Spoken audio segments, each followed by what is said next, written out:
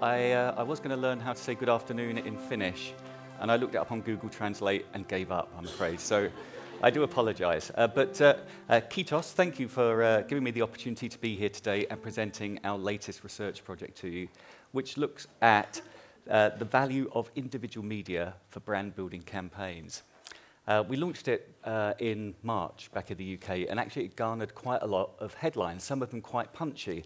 And if you want a summary of, of what the presentation is about, uh, then maybe the middle one gives you an idea. Marketers are clueless about media effectiveness.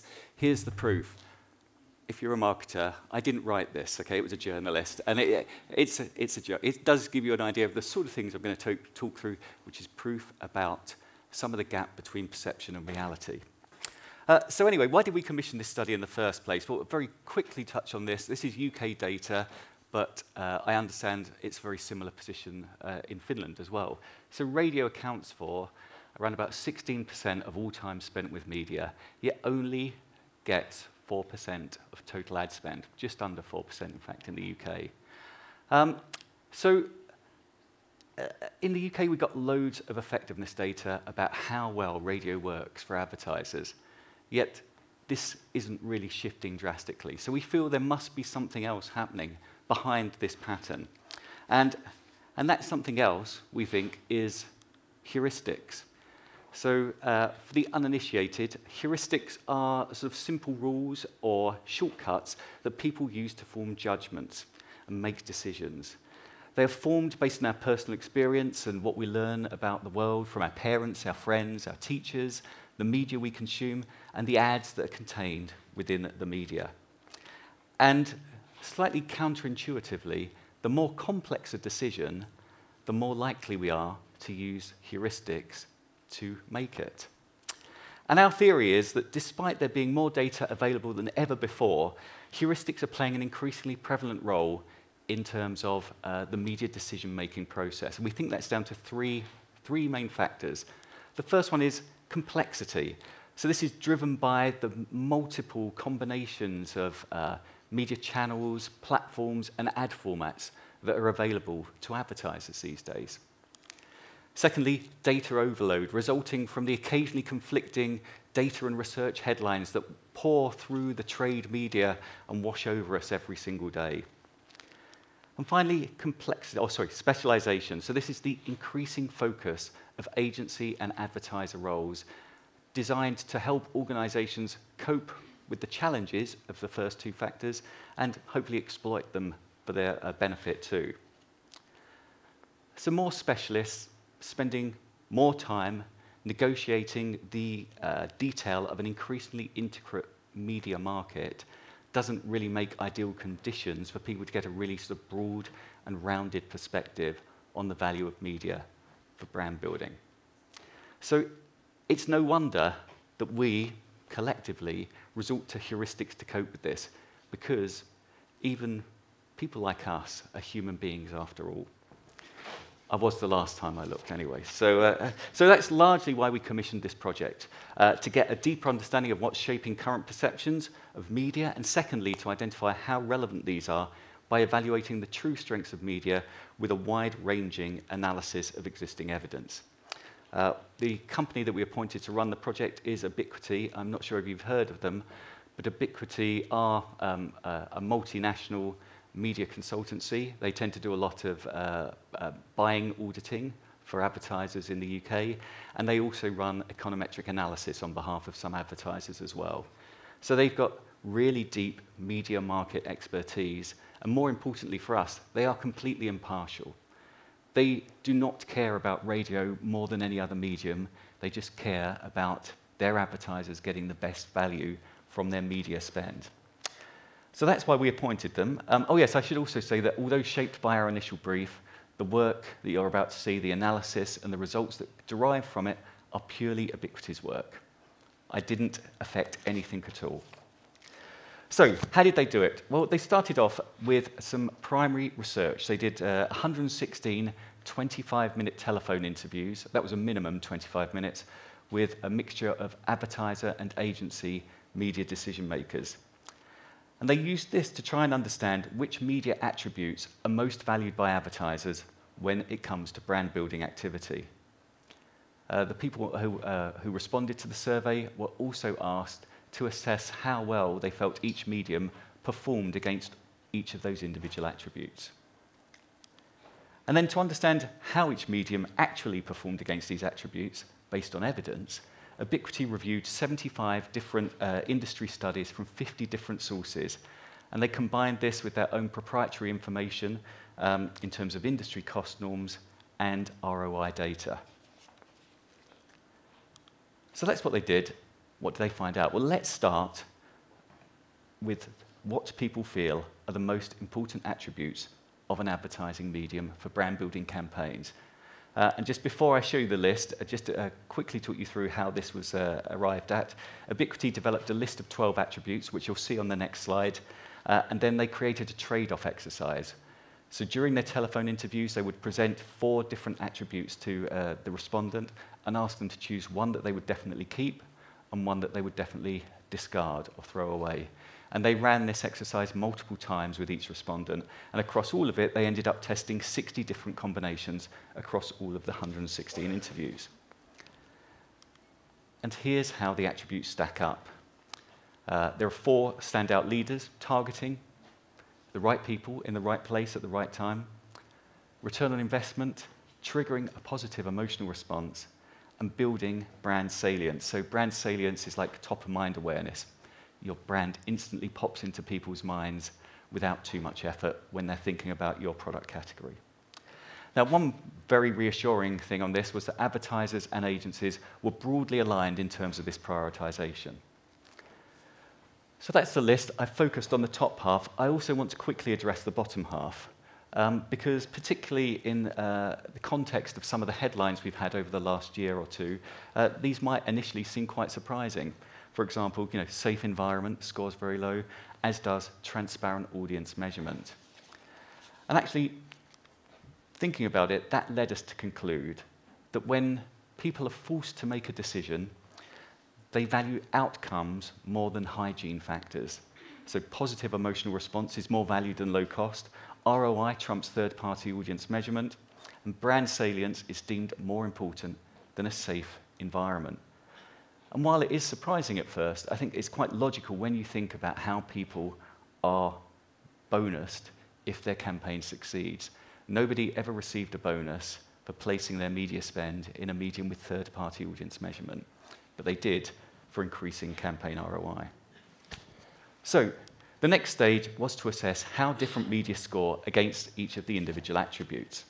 So a quick uh, a reminder of how this was uh, delivered. So uh, the score comparisons that you're about to see were developed by Ubiquity coming up uh, with different scoring criteria using different approaches for each uh, attribute and for different types of evidence. Um, and then the decision maker perceptions were captured during the primary interview stage. Now, you'll be pleased to know that I'm not going to run through all 12 attributes today. We don't have time, but if you want to have a look at the detail, you can go to the Radiocentre website and analyse the report uh, and uh, everything online. It's all freely available. So today, I'm just going to focus on three of the top four. And we're going to start by having a look at return on investment. Now, return on investment is all about straightforward data comparison. There's really nothing to argue with here. That's how well they perform.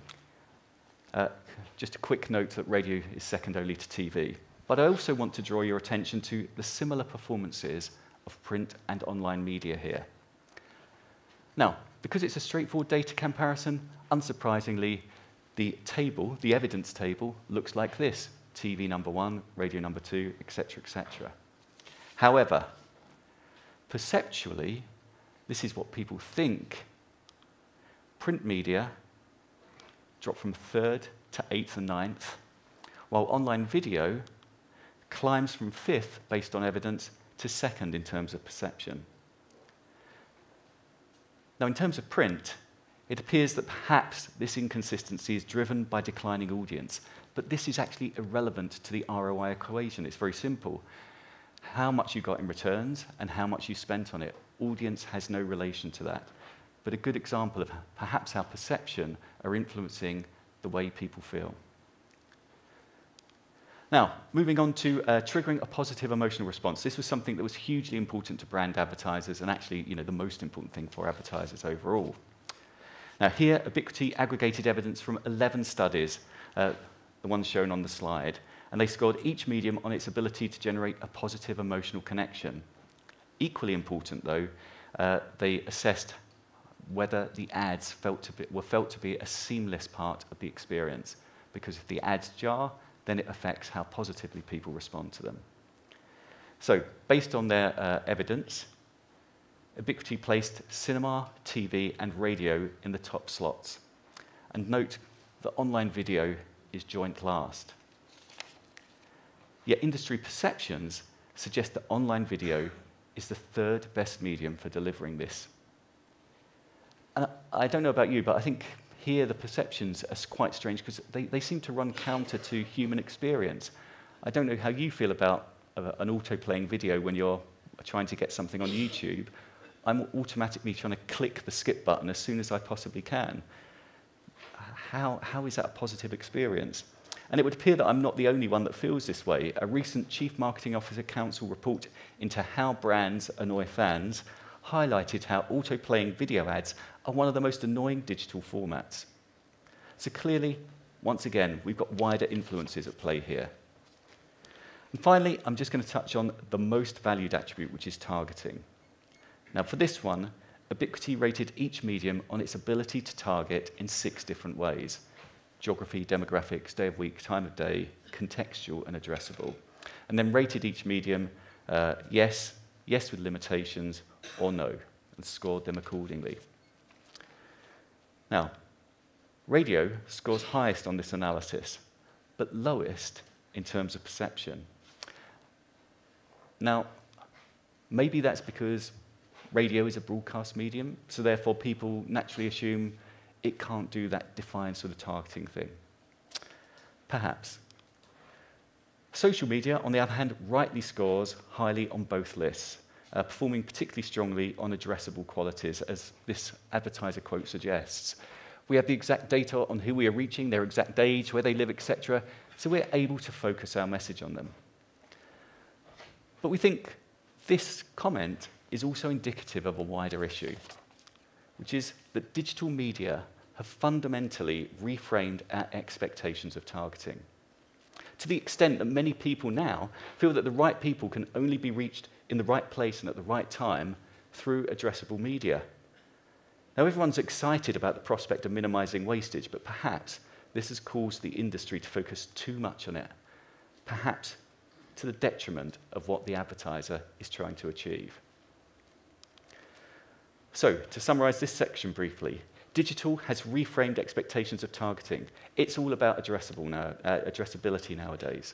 Perceptions don't always reflect the consumer experience. Does anyone know any people who feel positive about auto-playing video ads? Finally, unrepresented perceptions win out over evidence, even if the data is clear and straightforward. So finally, let's have a look at how each medium performs overall. So taking each medium score for the different attributes and weighting these based on the relative importance of each attribute, Ubiquity placed TV top, radio second, and print media third and fourth. Yet, when we compare these scores to those applied by our advertising customers, we see that radio, newspapers, and magazines all slide down the scale. With online video and social media climbing to the top. So, despite all of the evidence to the contrary, it appears that perception is the driver of action. So, this chart shows the relative evidence based ranking uh, of individual media on the horizontal axis in relation to total media spend on the vertical axis. And the bubble size is, is loosely indicative of that media spend. So, when all of the available evidence is taken into account, it turns out that radio is the second most valuable medium for brand building campaigns after TV. Yet, it's at the opposite end of the spectrum in terms of media investment. The perfect demonstration of how undervalued this medium is. And it's clear that because people perceive digital media to be stronger, they commit significant budgets to them. Um, so in conclusion, I think this image sums things up nice, nicely. I don't know whether you're familiar with the distracted boyfriend meme over here, um, but uh, yeah, there's a lot of information and data available. We often rely on perceptions and instincts to plan, and that is at the risk of inhibiting advertising effectiveness. So those are the findings. What should we be doing as a result? Well, here's what Ubiquity suggests advertisers do. Number one, reevaluate their media mix on the basis of the evidence available. Also, acknowledge that conventional targeting approaches are still effective alongside addressable advertising. For example, what's the most effective way of speaking to a car driver and encouraging them to slow down?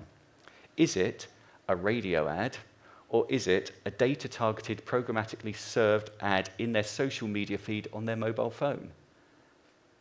Of course, it's a radio ad. The radio ad is the one that cuts through. So they, can, they both do different jobs and at different times. They can both be effective. Uh, and also, Ubiquity suggested that uh, advertisers and agencies should be pushing for more research of online formats, or at the very least, ask online publishers to make the detail of the research they do have more readily available.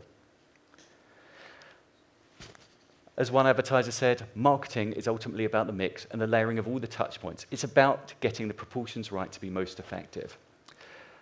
So, thinking about this, um, and I'm going to freestyle this next bit a bit. So, the, the, the question is if this research makes you think we should be re-evaluating our media mix, what sort of role could radio possibly be playing within that to make it the most, to deliver the most effective outcomes for your brand?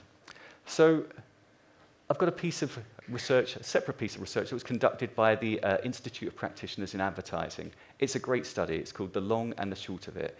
It reviews 30 years' worth of IPA effectiveness studies, and these are the creme de la creme of case studies where they isolate the effects of radio on uh, business metrics such as sales, profit, market share, those sort of things.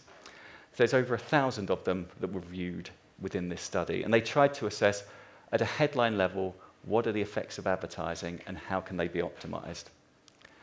And one of the conclusions they came to is that the most effective campaigns use a mixture of long term brand building, using mass media to reach as many people as possible with implicit emotional messages to change brand equity, combined with shorter term activation strategies to drive sales through on and offline response using explicit messaging.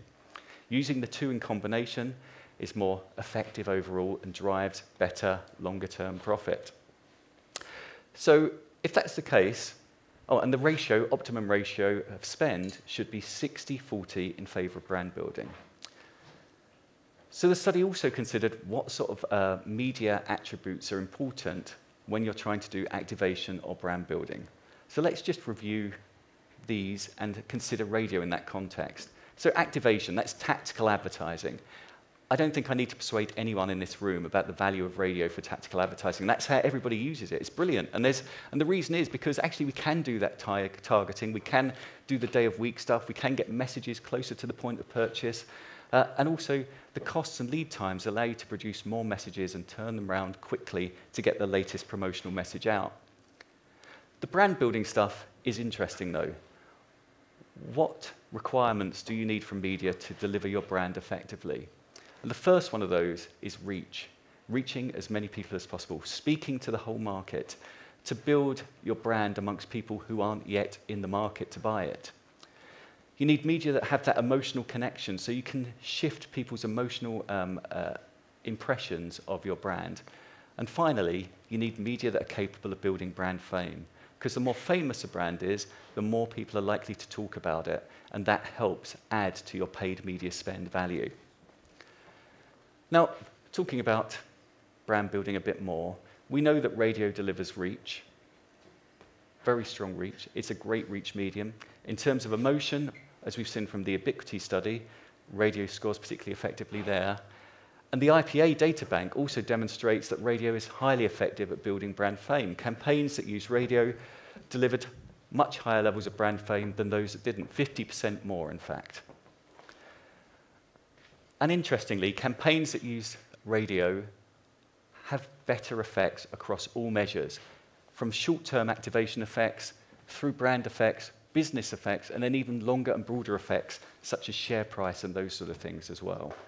So using radio can do both brand and it can do the tactical side as well. So I think a really important learning for people to take away about radio is use it for brand response. And by brand response, I mean use it to keep driving your sales today. That tactical element can still work, but think about how you can also use it and introduce an element to build your brand over time.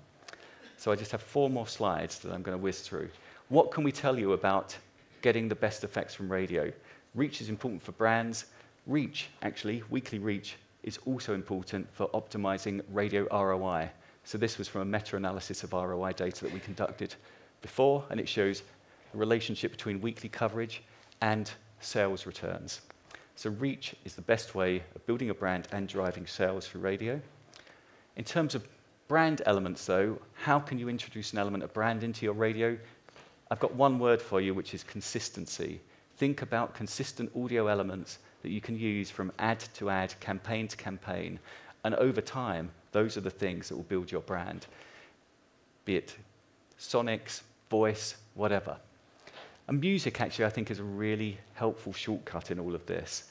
Um, we've done a lot of work with audio branding, and we know that music instantly communicates what, who the brand is, who's speaking to them, very quick brand recognition but it also communicates meaning about the brand and really emphasizes those emotional elements.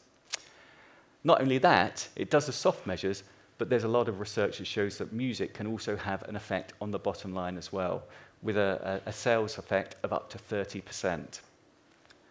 And finally, thinking about radio in the context of your wider plan, how much money should you be allocating to radio? Well, the same ROI study that we did, a meta analysis of data, suggested that the optimum investment in radio was 20%, at which stage returns are 8.5% higher. Now, that's a really significant difference purely by allocating more money to radio within your media mix. And since we published this research in the UK, we now have 50% of our top 20 advertisers spending 20% of their budget on radio or more. So clearly, in the UK, advertisers have taken on board this learning and are progressing and using the medium more strategically. And I think if, it, if you're thinking about using radio and want to get better effects, then I'd urge you to think about this. Be more ambitious.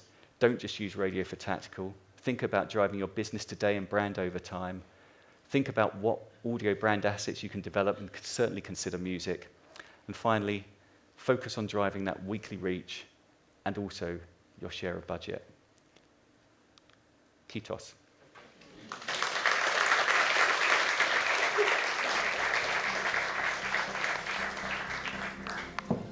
Thank you. Very, Thank very, you, Mr. Mark Barber. thank you. We have a uh, gift for you. oh, right, thank you. Everyone in this room knows that when you're watching a video from uh, on YouTube, there's this ad and it takes like five seconds to put the push the skip uh, button. Skip yeah. And it feels like an eternity. Yes. But should one even use money for online ads or make online videos anymore? Because I was kind of stunned that online videos and ads were scored that low. Well, I think what I would say is that that's based on the available evidence. So they, there may be evidence for that individual advertisers have that demonstrates that it works very effectively for them. Uh, and I think some online video formats also, if they're within the middle of a, a piece of long form content you're watching on YouTube, it feels less interruptive because it's then more incorporated into the flow. So I'm not saying don't spend any money on digital formats. I think it's just about saying think carefully about what really you're trying to, trying to achieve and what can that deliver versus radio. Make it an evidence-based decision rather than a, a it's digital, therefore it's best.